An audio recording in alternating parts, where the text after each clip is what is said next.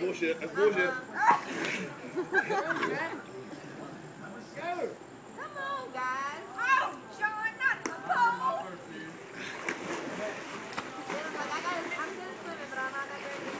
Come on, Dylan. Dylan's like, screw this. Olympic beer drinking.